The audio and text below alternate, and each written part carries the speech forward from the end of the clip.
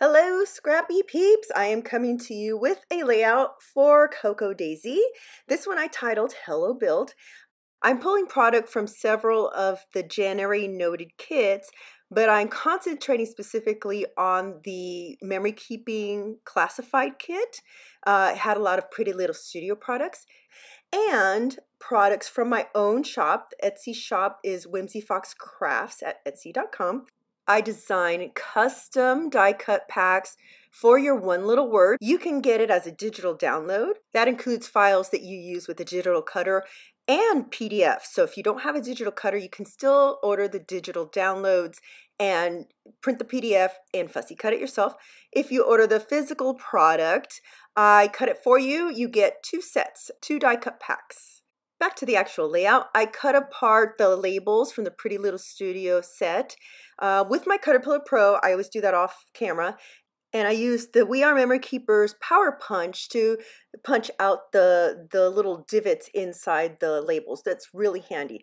That We Are Memory Keepers Power Punch is true size to the standard hole punch, unlike the Crop-A-Dile that punches out smaller holes.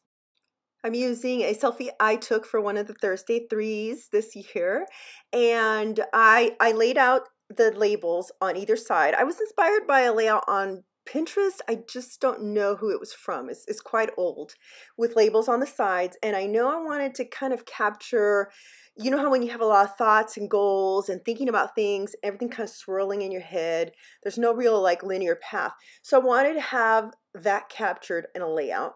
I'm going to do a circular design with everything laid out around, but it's going to have some structure because it's going to be anchored to the background I'm going to make. uh, first, just auditioning a whole bunch of die cuts and some stickers. I want to point out, I'm sure many people know this already, but it's really convenient when you have something with a sticky back and you want to try it on your layout put it on a piece of wax paper. That's what I've done with some of these stickers. I'm just letting you know in case you didn't know that.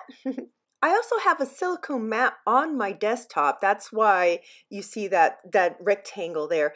And I've laid out stickers directly on there. It's really convenient. Uh, I'll probably mention this again at the end, but most of the supplies that I use, I link directly to them where you can shop in the description under the video.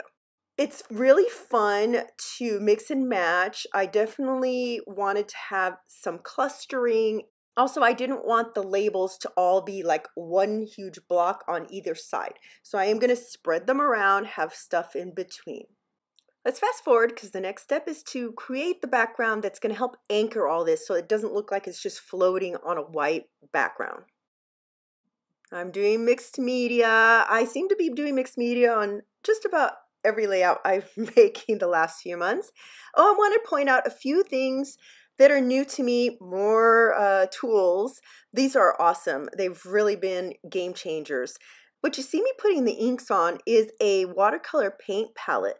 Now it closes to 10 by 5, which is really nice because it's portable. And it has the divided tray at one side, the long tray on the other. And I don't know if you could tell, that long tray actually comes out and you have a third one underneath. It's really nice. And the other is this brush washer. It has a lid, but anyways, it effectively gives you three compartments of water. So even if one gets really dirty, you still have clean water there. It's not an exaggeration for me to say that these two things have upped my mixed media game. It makes me more confident and I don't have to keep getting up to empty, you know, the water. So back to the layout. Another thing that's upped my mixed media game are the Distress Oxide sprays. I just love using these. They blend so well and they give you that effect with the blooming and then when you you splatter water, you mix little droplets just like the Distress ink pads, but I just use them like liquid watercolors.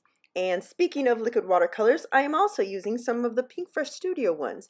I used the Pinkfresh Studio liquid watercolor in Key Lime and Sapphire. I watered them down a lot because they are very pigmented. And then the Distress Oxide sprays in Mowed Lawn and Faded Jeans. Painted around in a circle, you can see it's not really mixed together at first. But I'm going back here doing some splatters, getting more water on the brush, and blending things a little bit better. And most of it's going to be covered up, those hard edges, although I do like that blooming edge, so I kept that. But a lot of that's going to be covered up. Um, uh, using a heat gun, this is the recommended one from Jennifer McGuire, if you've followed her for a long time. I prefer to let things dry naturally so there's less warping, but I had to speed this up because I'm going to do something a little bit radical. And yep, this is what I'm doing. I took the mixed media background I already created and I cut a cut file onto it. This is the Stitching in Circles cut file that I'm also selling at my shop. So you can see that you can use something like a mixed media background and add stitching to it very easily, even if you've already done the background itself. You could cut out also from the white cardstock before you do the background. That's totally doable too. I'm using my favorite Sulky 12 weight thread, which is thicker than the standard thread. It's about as thick as a couple of skeins of floss. And um, I was going to have show you like the entire thing being backstitched, but my memory card got full. So you're just only seeing a, a couple stitches here.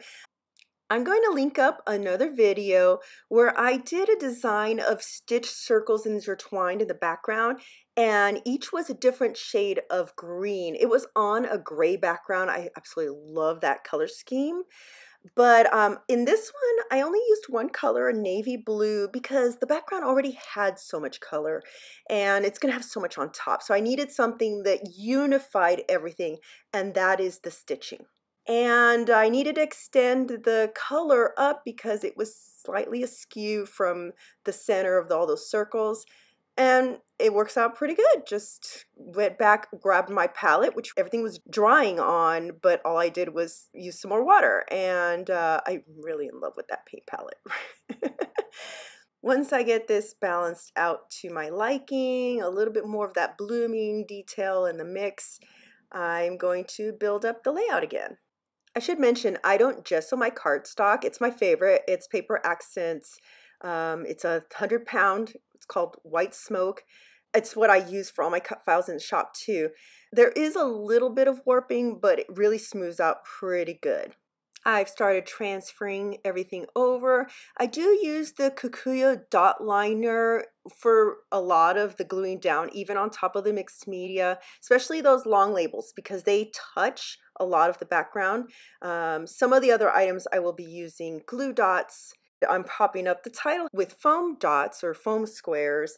The build I do one layer and the hello I actually do two layers. But let's fast forward because that's pretty tedious before I actually glue down the labels, I write out my journaling. I did have everything in a list form.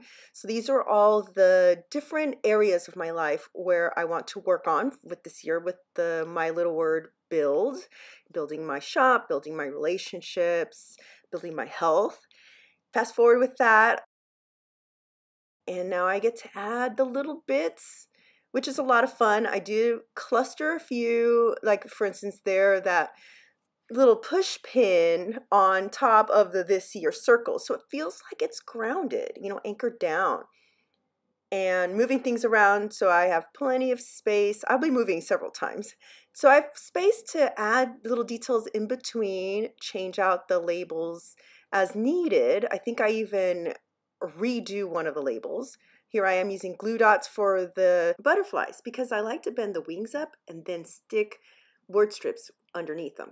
I think this process of decorating all around the layout can seem a little chaotic, a lot of switching out back and forth. Uh, there is a method to my madness. That is why I have the stitching. That helps also make it look like they're not just sticker sneezed on the page. And also the clustering I'm going to fast forward so you can see it closer to being done. I've got all the main elements down. I'm just putting finishing touches on with the enamel dots. Aren't they so pretty? So what I want to point out is a lot of it on the layout, even though it's all around, uses the buddy system. You've got one big die cut with a word strip or word strips cluster, you know, together. Uh, the other way I use the buddy system is to use the enamel dots to join things up. For instance, the bottom right label has a semicircle build die cut tucked under, and then I put an enamel dot where they join up. I'm also using the enamel dots to fill in some of the blanks on the background. It gives it a 3D effect of being the same colors and uh, helps lead the eye to some of the elements that are around the edges. Slowing down to give you a close-up look in real time. I hope you can see the, the depth of the stitching and the enamel dots, also the popped up title. Yeah, this one was super duper fun to make. And here are some still shots. Thanks for tuning in. I am hoping that you enjoyed this video and got some some tips, some new products that you might want to investigate. As always, I will put tons of links down in the description. If you liked it, please give me a thumbs up. That really helps us YouTubers. And if you haven't already, hit that subscribe button. I appreciate all the likes and comments that I get. That really is motivating me to get back into the process videos. All right, guys, I will see you here next time.